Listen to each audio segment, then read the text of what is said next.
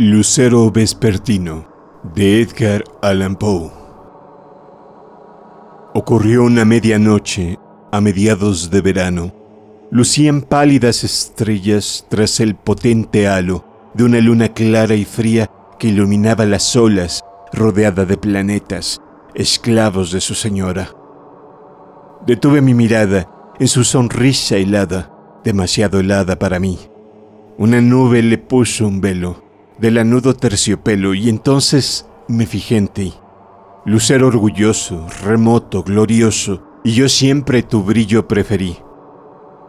Pues mi alma jalea la orgullosa tarea que cumples de la noche a la mañana y admiro más desde luego tu lejanísimo fuego que esa otra luz más fría, más cercana.